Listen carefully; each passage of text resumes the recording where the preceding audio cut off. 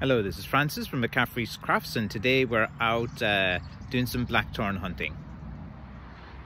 Okay, well this is what we would call an Irish boreen and a boreen is like a, a little road that you go down. Um, so usually like you won't find the best blackthorn. There's actually no blackthorn here, but I just thought I'd give you guys a glimpse of uh, one of these little boreens that, that I walk down and uh, as I'm going on my journey to kind of look for, for a blackthorn. Uh, I don't have one of those kind of gimbal things, so I'm just holding the phone in my hand. So if it comes off as a, a bit shaky, uh, sure, sure let me know anyway. I have to probably walk down here for about five, 10 minutes just to, to kind of uh, have a look for, for some blackthorn. Uh, but I just thought anyway, I'd kind of bring you guys along with, with this kind of trip today. Uh, you know, and just kind of take little, little glimpses of uh, my journey. So, you know, you'll see me kind of walking down one of these places with, with a little, little saw in my hand. That's kind of what I'm up to. It's kind of on my, my kind of uh, hunt, January hunt for, for some blackthorn.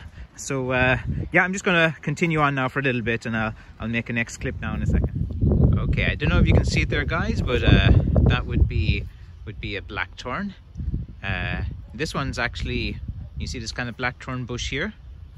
Uh, this one's actually growing by the side of the road, which isn't too bad because you see, look, I can just stand here and kind of cut away. Uh, like there'd be a few kind of nice sticks there now to get. Uh, but I might walk on a bit further here because, uh, you know, we're kind of at the side of the road here. Don't want uh, to be bothering too many people. Oh, there you have it. So I just want to kind of like show you there. So there's a kind of nice little little bit of blackthorn that uh, I might have a look at on my on my way back. Uh, but again, there's there's really nothing nothing too much else around here. There's nothing, nothing, nothing, nothing, and then oh, finally, uh, some some blackthorn there is growing, which is uh, which is quite good to see. Okay, guys, here you have quite a lot of blackthorn, but uh, this one has been kind of trimmed and pruned away. It's probably uh, not quite suitable yet. Like you know, the the branches are are quite small there and thin. Uh, bit of a thick one in there but not really a walking stick. So uh, you know here's the kind of patch you'd kind of say right give it another one or two years and uh, maybe you know one or two more years time there might be some some sticks here. But you see that one there? Like you can't really make a walking stick with that. It's not really that good. There's no real handle on it as well so you kind of have to look for pieces of blackthorn that you can actually carve a handle on as well because uh, you know when you see pieces like that it's just really kind of no good. Uh, you'd want to try to find something you can make some kind of handle with. Maybe there's one or two in there. I might look at in a moment. Okay here, go, here guys. Here's the uh, here's the two tools I mainly use. Just that kind of clipper and just any kind of saw will do. And uh, here's the first one I've cut today. That will make quite a nice stick or there's, there's a nice nice handle as well on this uh, on this blackthorn it's uh, kind of a good thick heavy stick. Uh, here's what it looks like the wood. You see the, the, the tight grain there on the blackthorn so it's a dense heavy wood. Here's kind of what the the bark looks like up close in the winter time.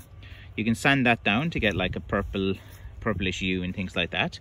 Uh, so yeah there you you have it. Uh, the first uh, first stick I've cut today is just kind of on my own today so I just kind of have to hold the camera in one hand and show you guys. So it's very hard to show you me cutting but it's not hard. Look you just get a saw cut here cut here and then just kind of cut a bit of length at the bottom to uh, in case there's going to be any cracking along the way. And then when you get home you want to be sealing the freshly cut wood to prevent any kind of cracking. But if it goes crack it'll probably crack to about maybe here or something like that. So the integrity of the main part of the handle will be okay for a good knob stick.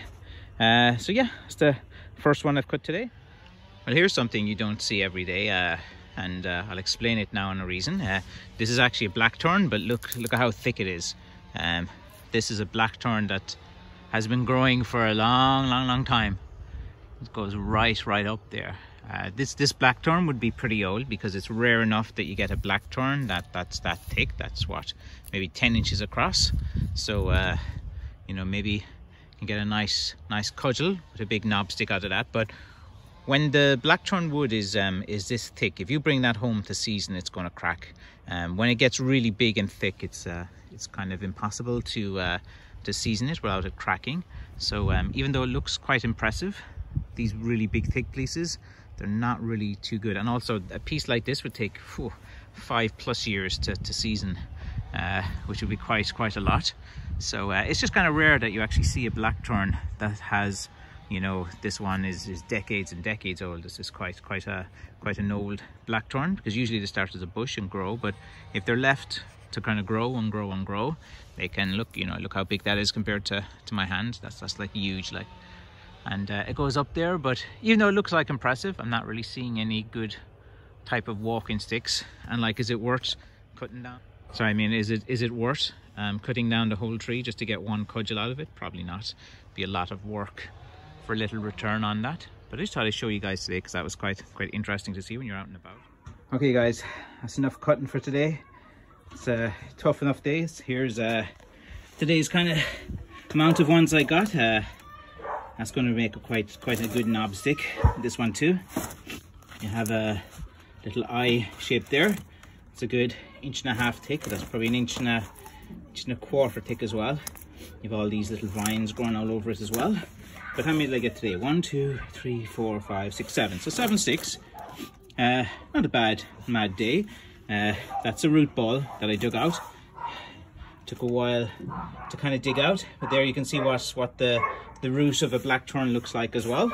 And uh, now just have to see. I think I have a few little little thorns in my hand. I'll wait till a few more hours. What will happen is like a little red kind of uh, ring will kind of start coming around where where I've got stuck by the blackthorn and then it'll be out with my tweezers. But uh, there you have it. Just wanted to kind of show you just today. Uh, a bit worn out now. Time for a cup of tea. Uh, there are about seven sticks so if I manage to get seven sticks every time I go for a walk. Uh, if I can get about 50 a week for the next you know 12 weeks I'll be happy. I think that's my my target anyway. But uh, you know with all these restrictions and stuff I'm kind of limited to the areas that I can kind of go cutting in. So uh, uh, this is the best I can do which uh, a bit, bit more hard work. So I think there'll be a blood tax on the sticks from two years from now. So two years from now I might add an extra fiver on to the cost of these sticks given how hard they were to uh, to get compared to, to other years sticks. But uh, you know so what's it now? 2021 so 2023 will be the year of the blood tax. I think I've talked about that in other other videos as well as where if a stick has caused me great ache heartache pain and and very difficult to get sometimes I'll just throw on an extra few uh, usually about an extra five or 10 10 euro onto the cost of the stick just to compensate me for uh, for, for the trouble the, the stick has cost me. Uh, so there you have it. Time for a cup of tea now. All right, guys. Every one of these uh, cutting videos, I think I'll end with, with a cup of tea each day. So, uh, you know, time to, to have a nice warm of, of, uh, of tea. And uh, I'm in no way affiliated to Barry's, but, uh, you know, if you want Irish tea, it's got to be a cup of Barry's. And the way I like my tea, just in my teapot here. Uh, I just put a little, everyone has their own special way of, of making a cup of tea. For me, uh, no, no sugar and just a tiny, tiny little drop of milk, just enough to kind of change the color, just like a few, few drops of milk. Some people like a lot of milk, some people like sugar, some people like strong tea where they put the tea bag in for a long time. Some just dip it in. I'm kind of in the middle, like between strong, strong and weak, just, just enough. And then you have to wait for the temperature to be just right before, before you drink it. But, uh, so that, that's my, my tea drinking ritual. And, you know, if you're Irish, you need a biscuits with your cup of tea. And uh, again, if you're if you're Irish, you'll you'll know about the, the tin of biscuits you get at Christmas time. They're always left over in January. These these tins of biscuits that your aunt would give you or some cousin or something like that. For some reason, they always buy you tins of biscuits as, as presents. So uh, here's a classic brand. Well, I'll just turn the camera around for a second. Here's one of these kind of typical uh, Irish uh, tins of biscuits that you get at Christmas time, loads of them. So uh, this one is USA by Jacobs, 1851. Uh, we'll see about that. So, so you got your plenty, plenty kind of type of biscuits. Let's see what's left over here. So you can see the, the good ones will always start to go first, like, you know, these guys. Uh, so, you know, if, if, if you're Irish, you'll know what these are. It's custard cream biscuits. Very good for a cup of tea. They're very good. Or uh, actually these ones too. Bourbon creams, you know. They're, they're a good kind of Irish biscuit. And again, you know me guys, I like to dunk them in here. and uh, and eat them. So, oh yeah, I gotta stop doing that eating when I'm trying to speak and make a video. So um, yeah, that's like your your tin of biscuits, and I thought it'd be a nice uh, a nice way to kind of end the day, just to have a you know just kind of my random thoughts as I as I, I drink some tea. Mm, okay, guys, I know this I made a long video today, but why not? This is my day, so you can see it. So let's see. This morning I woke up and uh, I checked my messages as you do, and I noticed I was tagged on on Facebook, and uh, usually if someone's tagging me, it's like they want to show me something interesting, or you know they're they're saying you know this I got this stick from from Francis, and uh, you know it's a nice stick and stuff like that. Well, today this this um, this gentleman uh, tagged me and I know he didn't really mean it, but it's just like th this is the problem with social media as well. He just kind of like worded something in a way which kind of I kind of you know it made me look maybe in a negative light, so I had to go in and defend myself. And uh, you know, then he messaged me, and you know, we, we he apologized, and we worked it out, and we had a chat, and and it's fine. As you do, like you know, between men. That's that's how men are, you know, like, and that's that's uh one of the problems, like on social social media, like uh he was comparing my walking sticks to this uh, two-piece stick with an attached head which wasn't blackthorn and he was saying that it was much nicer than any of the sticks that that I have and uh, you know if, uh, anyone who's bought my sticks know uh, that uh, I make some some good sticks too and I think all people who make blackthorn walking sticks make good sticks uh, I, you know, like to, to you know, I, I talk regularly to, to other blackthorn stick makers as well. Uh, and I said, it might surprise you. I don't see, like, I'm not competing with them. If you make a nice stick, it sells.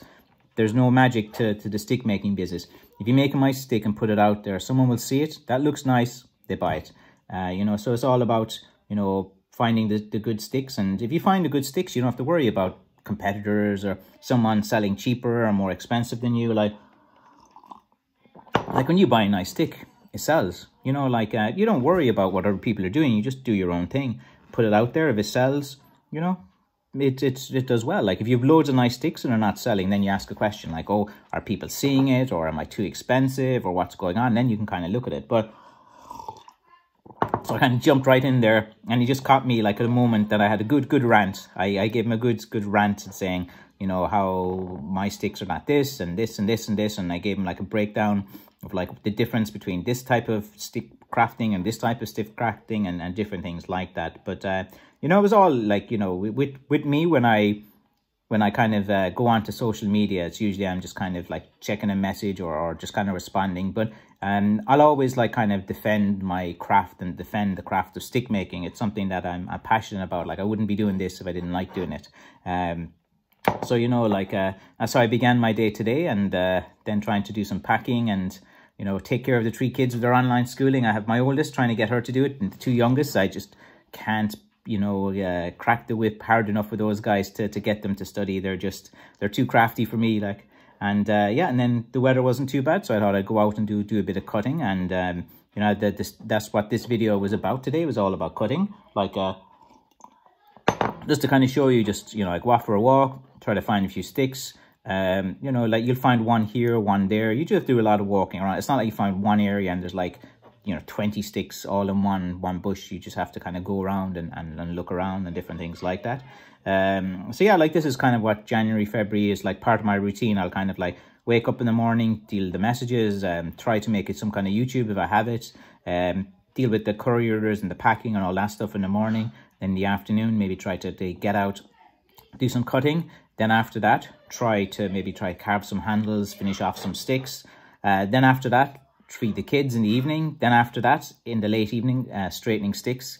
And, uh, you know, I'll, you know, you might not believe me or not, but I'm, I'm up till 12 and 1 most night, like doing, uh, doing work. So, and I work um, pretty much seven days a week.